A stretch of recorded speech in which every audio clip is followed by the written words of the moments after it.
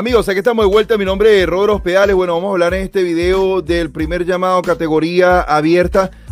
Van a ver un poquito de problemas allí en la grabación. Ya les voy a explicar a qué se debe. De todas maneras, no se preocupen. Más adelante van a ver la comparativa de lo que es las fotografías allí de cada uno de uh, los competidores. No solo el primer llamado, sino el top 3 que está allí entre nuestro amigo Shaban Mostafa, no Mostafa, perdón, Shaban Mohamed, eh, nuestro amigo Mostafa Hassan y nuestro amigo Akin William. Bien interesante que hay dos egipcios y un norteamericano. Esta competencia se realizó o se está ejecutando en Bahamas, el Puerto Rico Pro. Ustedes ven allí ciertos problemas con eh, lo que podemos llamar nosotros las imágenes y ya les explico qué es lo que está sucediendo. Esa es la esposa de Hassan la que está tomando estas imágenes, pero lo lamentable de todo esto, amigos, es que ella está grabando escondido. Ya les voy a decir eh, el primer llamado, quienes quedaron allí. Andrea Presti, Shaban Mohamed, Akin Williams, Hassan Mostafa, Teo Leguerrier y Andrea Musila. Les explico. El evento está prohibido grabar. Cada quien, yo lo he dicho bastantes veces en varios videos, pone las reglas porque es la inversión del dinero de ellos allí, pero si ustedes se ponen a analizar, y es algo que yo estaba hablando con Jesús, el dueño de la página Who is the Best Bodybuilder, miren cuando separaron los directivos de la mesa, lo que hizo ella. Es una pena, amigos. Porque es su esposo que está ahí sobre la tarima y ella, bueno, sencillamente está grabando ese momento que él está allí para después ponerlo en su cuenta. Amigos, normalmente esas cosas se hacen para evitar pérdidas de dinero. Decir, bueno, si esa grabación sale, se le va a sacar una cantidad de dinero donde nosotros podemos estar perdiendo. Ahora díganme ustedes de qué manera pudiesen ellos perder dinero si ella se pone a grabar allí y después yo retransmitir aquí. Es cierto, este video está monetizado, pero tengan la seguridad que a la final del día algunos dólares allí es lo que pudo haber recabado este video. No es algo que va a perjudicar al evento. Pero es que el evento está pautado de una manera que pareciese un evento clandestino, porque es un evento que no llega a todo el mundo, tanto así que está allí realizándose este evento en Bahamas y muchos no lo saben. ¿Por qué se llama Puerto Rico Pro? Entiendan esta situación.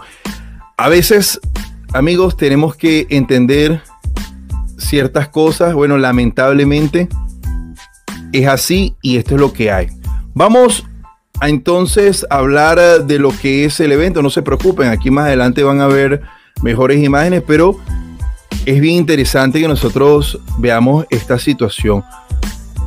En lo que respecta a Hassan Mustafa, sí, amigos, no es fácil. Recuerden que tenemos este video aquí, uh, no de muy buena calidad, no muy buen ángulo tampoco, está bastante lejos. Tenemos fotografías también de dos compañías diferentes, pero tampoco tienen buen ángulo. Determinar ciertas cosas aquí no es fácil, pero no podemos tampoco dar eh, un favorito porque es el que más se escucha. Evidentemente aquí es el favorito. Allí nosotros usamos la subjetividad y como es el favorito y es el más grande muscularmente, uno viene y dice, ¿a quién gana? Pero no estamos viendo los cortes adecuados, no estamos viendo los ángulos adecuados. Y eso es algo que yo quiero destacar para que podamos nosotros realmente aprender sobre culturismo. ¿Cómo aprendo yo? Viendo, preguntando. Yo tengo muchos amigos jueces para que lo puedan entender. Y una de las personas más allegadas a mí es un juez internacional de la Federación eh, aquí, Pro League, y él a veces me enseña muchas cosas. Y yo le estuve enseñando este material antes de bajarlo aquí para ustedes o comenzar a editarlo. Y me dice, no, Robert. Y es lo que yo les estoy diciendo. Así que aprende uno. Él me dice, ¿qué puedo decirte yo ahí? Es complicado, no se ve nada bien. Las fotografías no tienen buen ángulo, no tienen buena resolución. Recuérdate que cada vez que alguien va a presionar el músculo, no siempre la cámara toma allí el momento donde uno y el otro y los demás restantes están completamente presionando el músculo. Entiendan ello. Entonces es difícil saber quién puede estar allí con mejor forma física. Evidentemente el tamaño lo tiene Akim. Recuerden que Akim cambió de entrenador hace seis meses. Eso es bien complicado porque la persona que lo llevó a él a estar en el Mister Olympia, en el puesto número sexto, ya no está con él. Ahora sí es interesante saber que nadie es indispensable en la vida, pero aquí también a última hora decidió competir aquí. Él estaba pautado desde un principio al Chicago Pro, el Chicago Pro viene pronto. Ahora, nosotros, por lo que las imágenes nos están dando aquí, parece el ganador aquí. También recuerden que la subjetividad de escuchar tanto a Kim nos vence. Tenemos que destacar algo bien importante sobre Hassan. Ha mejorado. Lo que se ve aquí en las imágenes no lo vemos tan lleno de líquido como en otras ocasiones. Parece que la puesta a punto funcionó un poquito mejor. Está en el top 3.